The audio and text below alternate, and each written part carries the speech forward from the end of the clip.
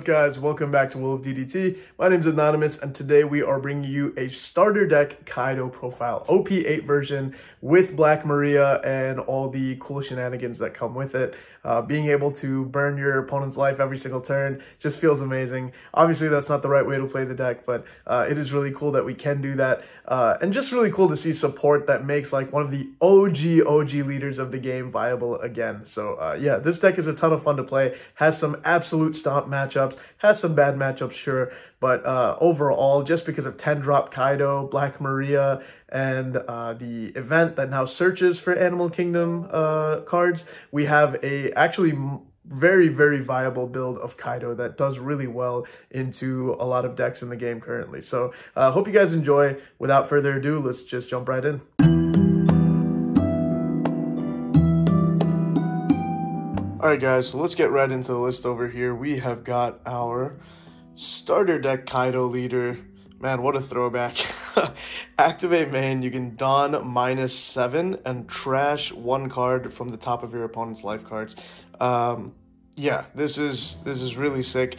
Um, this leader ability was super super expensive, but now with the uh, obvious uh, obviously, with the Black Maria that we got in OP8, um, it is much, much more viable. Uh, still, you know, we're not trying to just go for like a cheesy, like spam leader ability build here where you just keep burning life. If you do that, you will be out of Don and you're not going to be able to play the game. It's much better to uh, build like a, just a good all around Kaido build that actually plays the game and then has that leader ability as a backup. But still, the fact that you can do it every single turn uh, is pretty freaking crazy. And towards the end of the game with Black Maria, you're definitely going to be able to pull off some really, um, really obnoxious plays here that will put your opponent in a bind. So let's start with the obvious picks everybody talked back in set one if Kaido had a Searcher, it would have been the best deck in the game back then. and we finally got it. A little too late, but um, this is nice. Obviously, searches for anything Kaido uh, or Animal Kingdom or Big Mom Pirates, which is really cool. So we can run a few Big Mom Pirates cards in here and also have them be searchable. So that's pretty neat. Um, four of those, and the search off of Trigger is pretty dope as well. Then we are running four copies of the classic Onigashima. Uh, if you see this versus if you don't is just night and day difference for this deck. Uh, when you see Onigashima, this deck feels like a well-oiled machine, like you are able to work up to your power play so efficiently. Uh, if you don't see it, it really, I'm not gonna lie, like you're probably losing. like this, uh, the deck is really, really punished by not being able to ramp consistently every single turn. Uh, then I'll get into the 2k counters. Sanji, just really good. If you're less Don than your opponent, this guy becomes a 3 cost 6k blocker, which is insane. Uh, and he's a 2k counter in hand. Just super uh, over overstated card, I would say. Uh, very, very good. Obviously, next up, we have got the 2k counter Black Maria.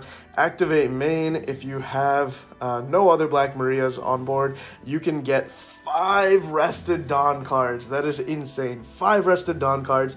Obviously, at the end of your turn, you will return to the same amount of Don as your opponent currently has.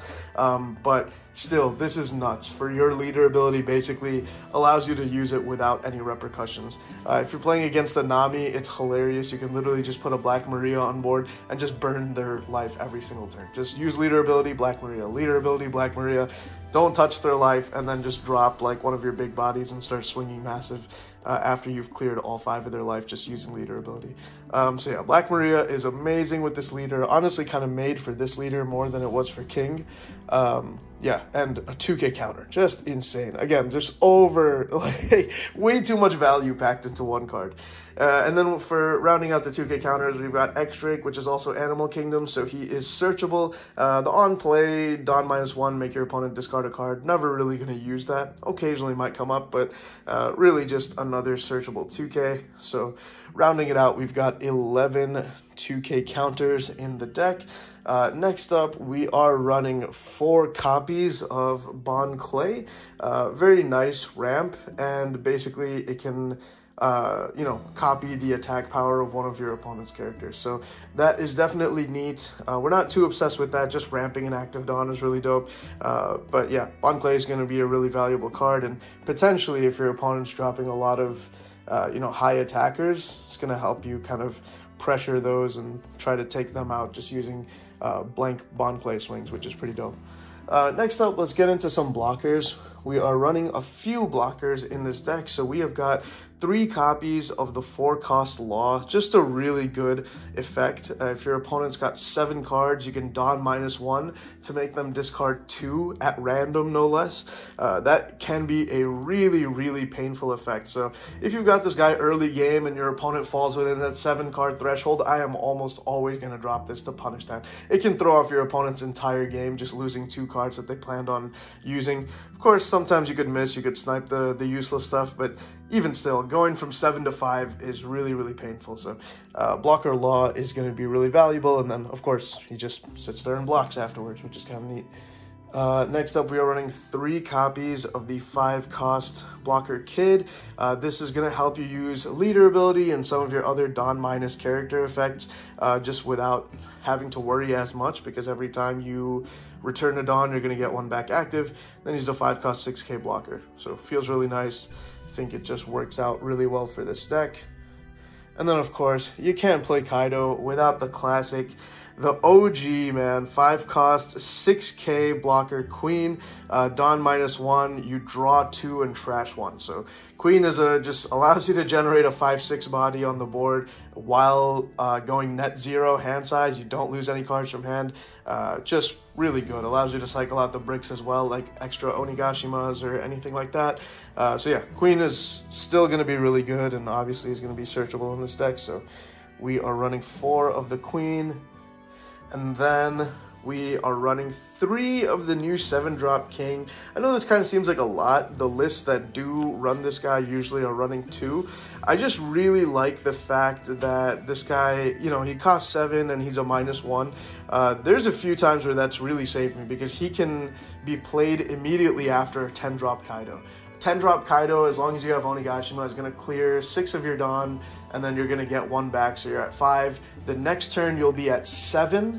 Uh, with, you know, having used Onigashima, you'll be at 7, so you can always follow up a 10 drop Kaido with a 7 drop King and just apply pressure that way. You Now you have an 8k rush on board, uh, you know, you're, you've got a 12k sitting on board from previously, and then you are going to have a uh, a 10k rush the following turn. So you can go 10 drop Kaido, 7 drop King, 9 drop Kaido reliably uh, in that order, which is just really, just really, really good pressure. So I, I like having. Um, personally three king. If you don't like it that much, you could always cut one of this guy for another one of the blockers, another 2k, whatever you want.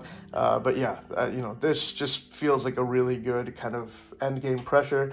Uh, we are running one copy of the nine cost Linlin. I had two in here previously. Uh, I ended up cutting her, I think, for something with uh, counter maybe for another king actually. I forgot what I cut her for, but it just, honestly this it just feels like this card is a little excessive.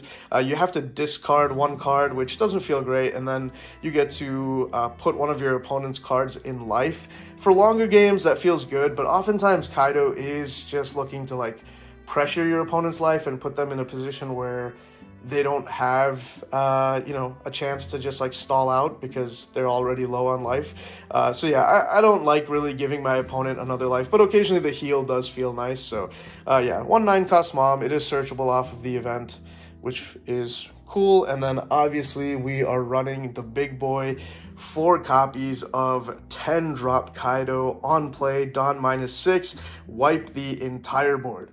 Uh, this card is just so good, man. I can't believe this is a set one card, and it's just like, you know, this leader and even the new king just aren't being played that much, and so people kind of forget that this exists. But yeah, being able to wipe a whole board is freaking nuts. This can win games against black. They can do their 8 cost Moria play all day, generate 5 bodies in a single turn, and then you can just clear it all.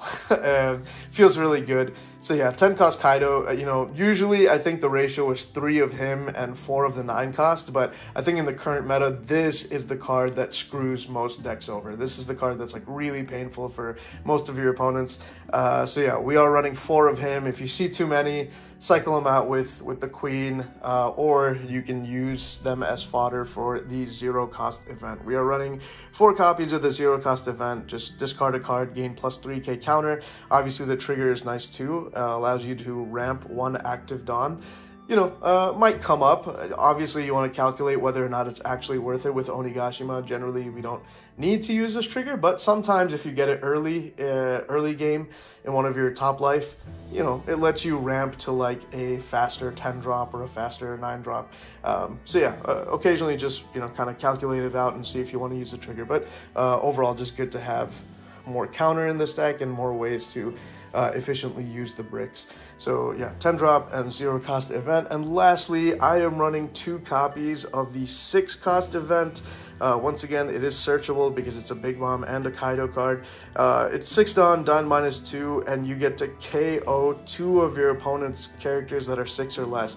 This is basically a um, you know, Purple's version of a Gravity Blade, a little worse in the sense that it KOs instead of bottom decking and uh, does a Don minus two. But if you use this while you're at like 10 Don or even 9 Don with Onigashima, uh, it literally doesn't matter. Like you will basically not suffer any consequences from going minus 2 Don at all.